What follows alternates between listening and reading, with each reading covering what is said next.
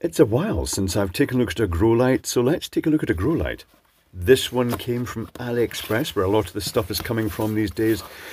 And it looked visually quite interesting. I just basically added it onto an order. Good packaging, very good packaging.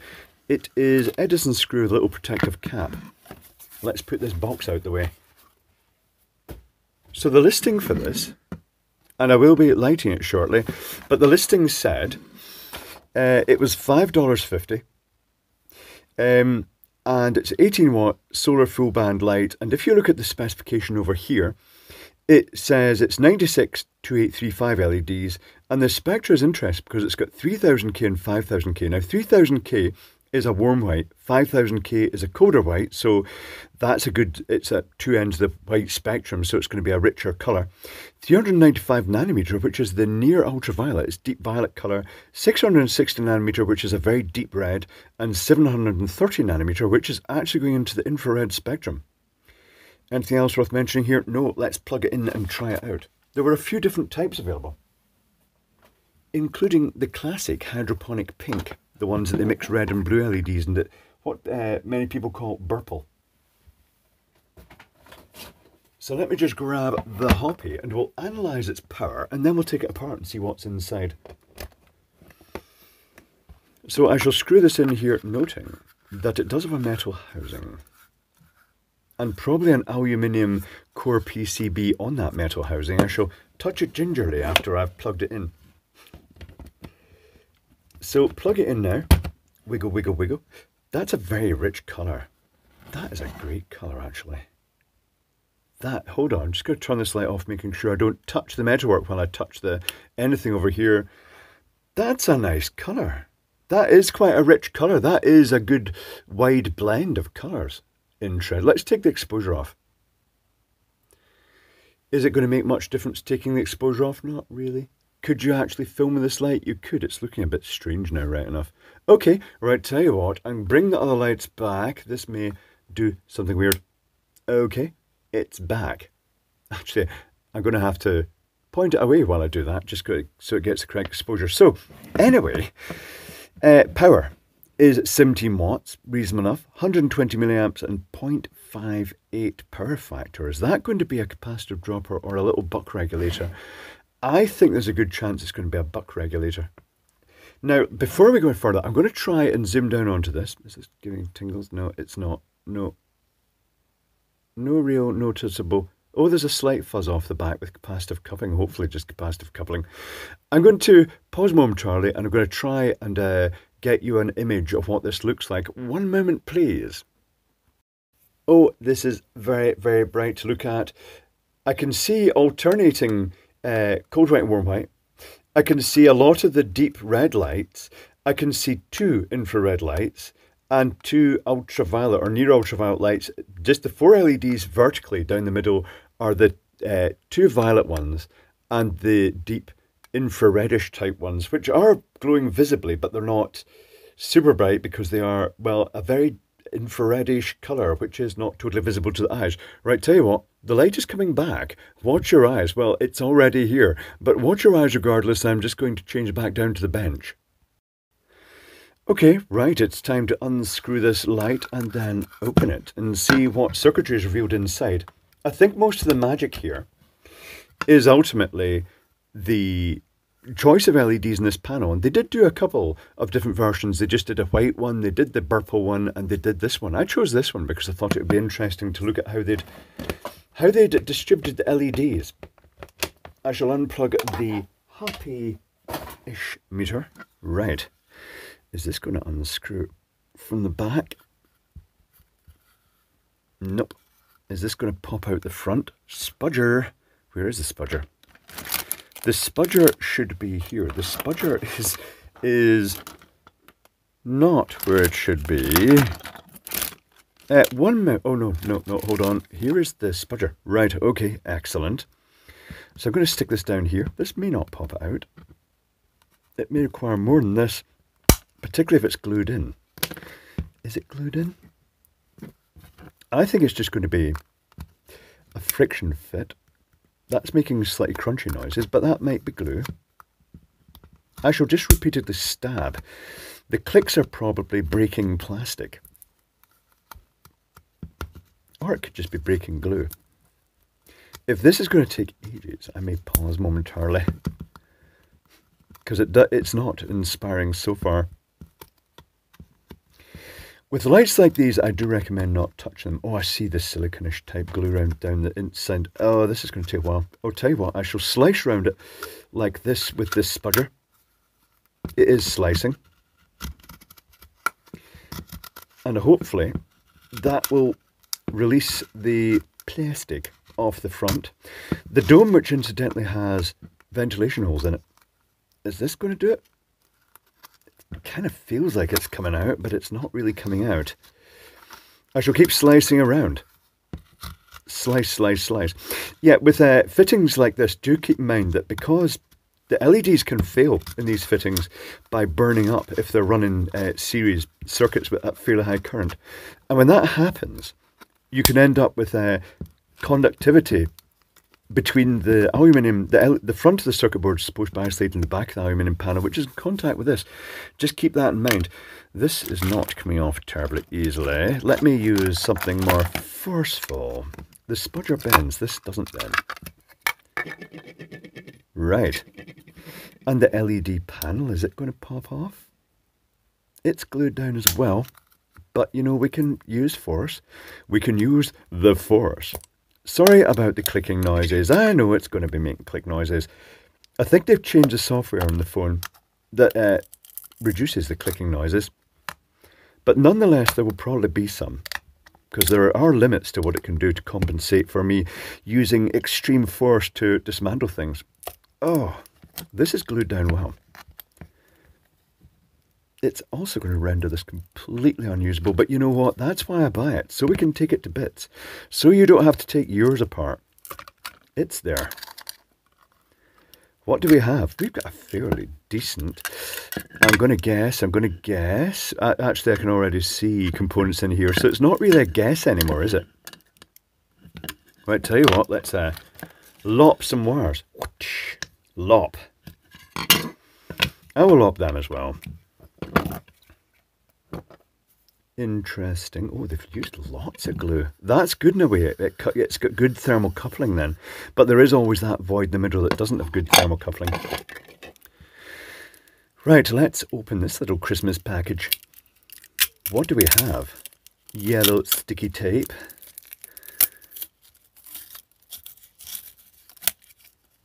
Uh, should check this as discharged before dabbling it with my fingers. Hold on, I shall just do that right now. I shall just gingerly poke across there. That looks like the big spicy capacitor. The death beam capacitor. Is it? Yes. Uh, yes, that is probably the 400 volt capacitor. This is a little buck regulator. Based on, it's got an inrush limiter, it's got the metal oxide varistor, it's got a, I'll take a picture of this and we can take a closer look at it. One moment, please. Okay, let's explore. So this circuit board, and I couldn't fit the whole thing in without getting a reflection of LEDs because of the, the size of the circuit board and the area I take pictures. Um, the circuit board has 96 LEDs divided into four sections. It's down here as 24 per section and 4 in parallel. Now, normally with LEDs like this, let me zoom down this. Normally with an LED arrangement like this, you would have matched forward voltage LEDs, but they've not really done that too well.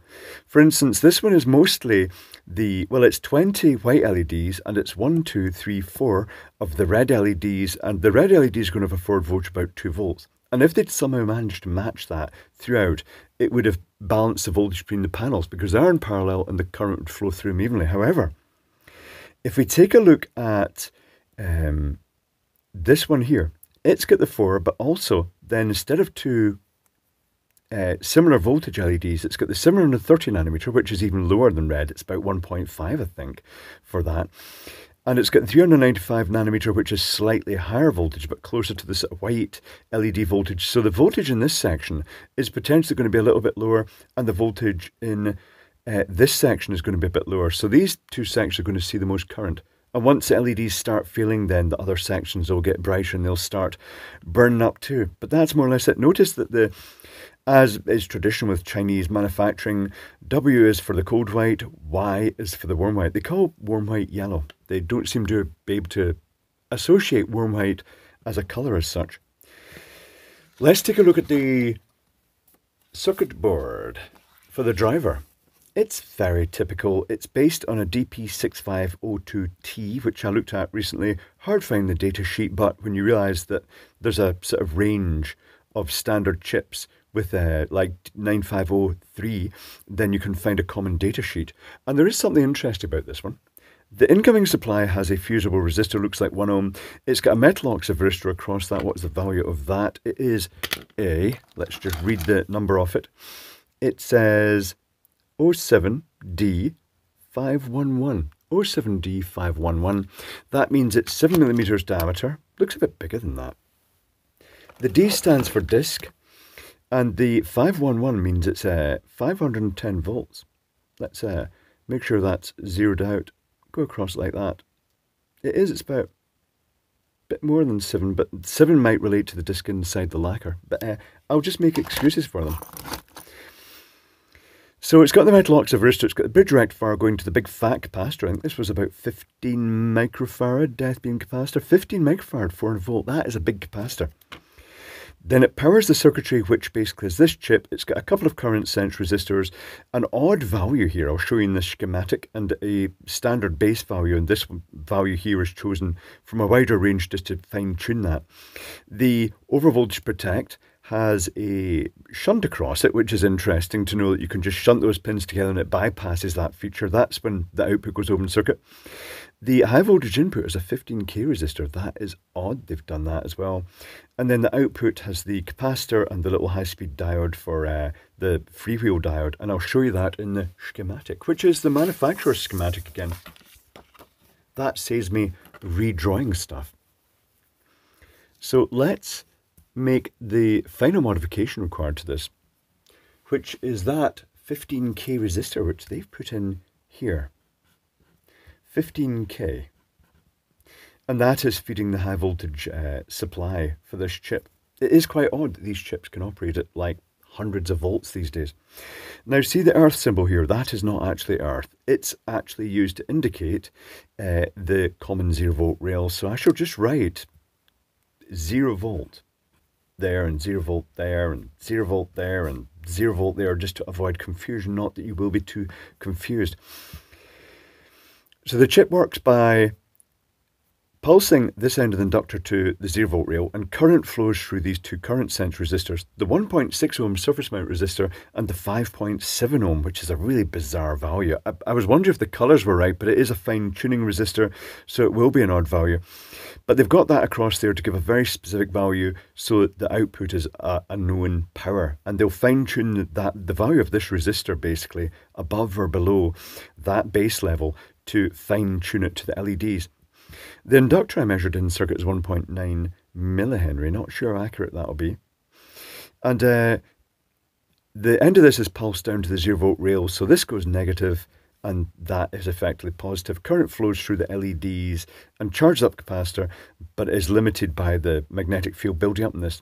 Then this turns off and this field collapses. This goes positive and that goes negative. And this time, as it collapses, the current is diverted through this diode back into the capacitor and through the LEDs. So it's a, just an efficient way of doing things. The zero ohm link across this, they basically just shorted the overvoltage protect to the zero volt rail. Uh, that's quite interesting that they've done that. I didn't know you could do that. Uh, it normally detects the voltage that it's seeing across this capacitor.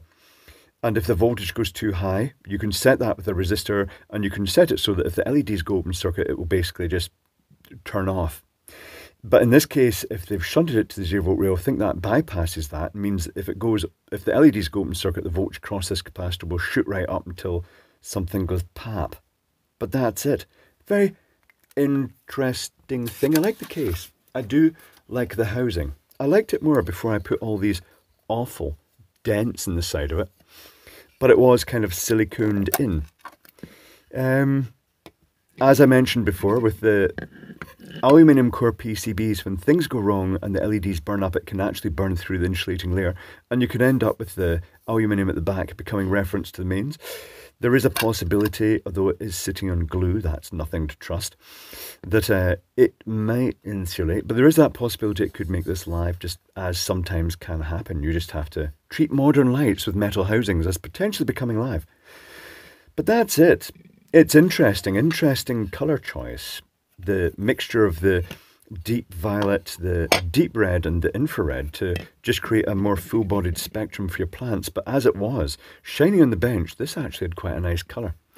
But that's it, the, the hydroponic sunlight emulating lamp with a, a mixture of whites and then just random violets and reds and oh, infrareds thrown in just for a good measure. It's quite an interesting light, well worth taking apart